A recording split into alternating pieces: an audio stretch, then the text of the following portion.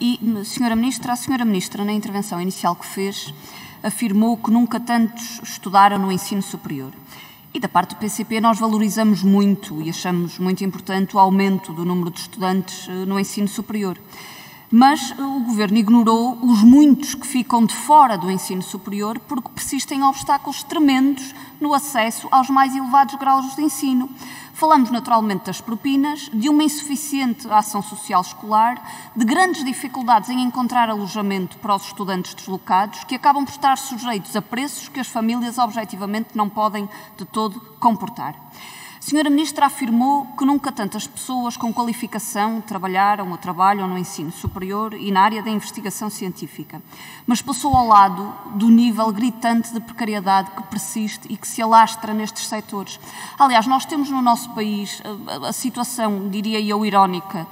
por falta de melhor adjetivação no momento, de um investigador de astrofísica que há cerca de um ano passou a ter um asteroide com o seu nome por decisão da União Astronómica Internacional e está com vínculo precário desde 98, Senhora Ministra. E este não é um caso isolado, é a norma também na área da investigação científica. A senhora Ministra falou do Estado, das instituições de ensino superior e de investigação científica, das empresas, de entidades sem fins lucrativos e de parcerias entre estas, e nada contra a cooperação e parcerias que sejam efetivamente de cooperação e que sejam feitas para servir as necessidades de desenvolvimento do país. Mas não é isso que se passa na prática. O regiés e o regime fundacional que lhe está inerente fazem com que as instituições estejam submetidas, muitas vezes, a interesses que lhes são alheios, para beneficiar até interesses, nomeadamente de grandes empresas, de grandes grupos económicos, que acabam também por ter assento uh, nos órgãos uh, sociais das instituições. A realidade do ensino superior e da ciência é de perpetuação de problemas estruturais que exigem resolução, que vários governos se têm recusado uh, a resolver e que este governo e este orçamento também não dão resposta, Senhora Ministra. O financiamento previsto neste Orçamento do Estado no âmbito do ensino superior e também da ciência é manifestamente insuficiente face às necessidades. O reforço previsto não vai além de uma mera reposição na redução da receita de propinas, eh, e nomeadamente em alterações legislativas ou cumprimento eh, de programas, ou seja, estamos a falar do cumprimento da lei e não de um efetivo investimento. E muitas instituições, aliás, conforme se pode consultar nas notas na página 17 e no quadro que lá está, têm a dotação inicial de 2022 eh, reduzida face àquela que era a dotação também de 2021, sendo que para nós também não é aceitável o limite percentual imposto ao crescimento da massa salarial e entendemos que este tem que ser eliminado.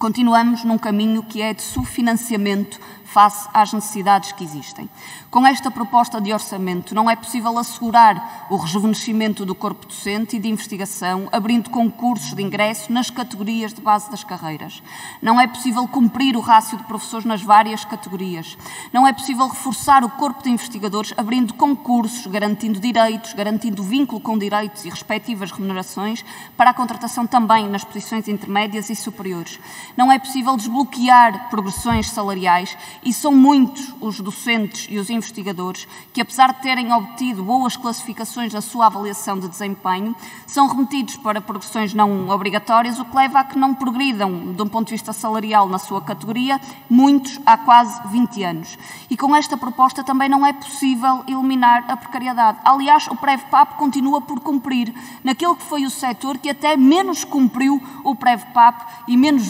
regularizou, um, comparando com muitos outros setores da administração pública. Dos 201 trabalhadores que foram considerados como tendo vínculos precários, apenas 83 foram integrados na carreira de investigação científica e muitos foram integrados em carreiras que não correspondiam de todo às funções exercidas por estes profissionais e, aliás, sobre isto, da parte do PCP,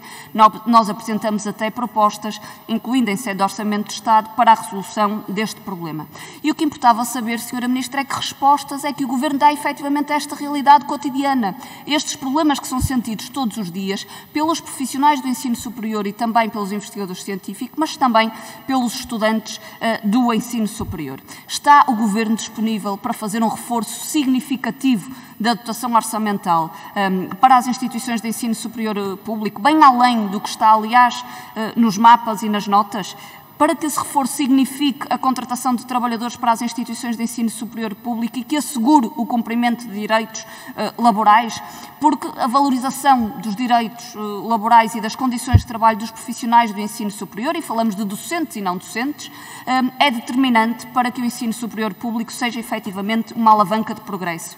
Um reforço de investimento, Sra. Ministra, está o Governo disponível para esse reforço que permita um claro investimento na criação de oferta pública de residências estudantis 15 mil camas até 2026 é manifestamente insuficiente. Para os mais de 108 mil estudantes que estão deslocados no ensino público, existem hoje 15.073 camas também na resposta pública e o, o Plano Nacional uh, de Alojamento do Ensino Superior não deu de todo resposta a estas necessidades um reforço de investimento que permita também um caminho de eliminação de propinas, taxas e emolumentos, que é algo que efetivamente o PCP defende, identificando as propinas como um impedimento de milhares de jovens de aceder ao ensino superior e muitas vezes de continuarem e concluírem também o seu percurso académico. Um investimento que permita um efetivo reforço da ação social escolar. Já aqui se falou das bolsas da ação social escolar,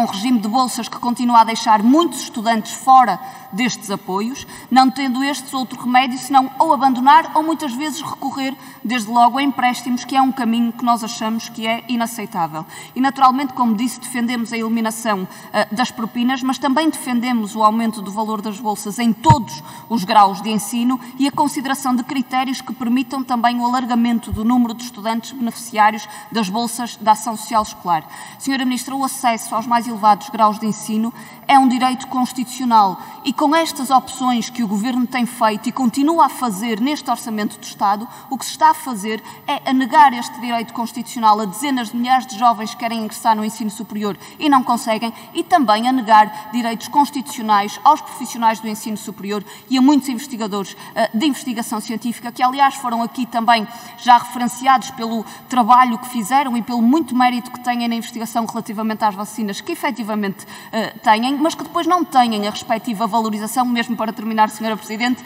naquela que é a sua remuneração e naquele que é o seu direito constitucional a um emprego estável e seguro para a sua vida.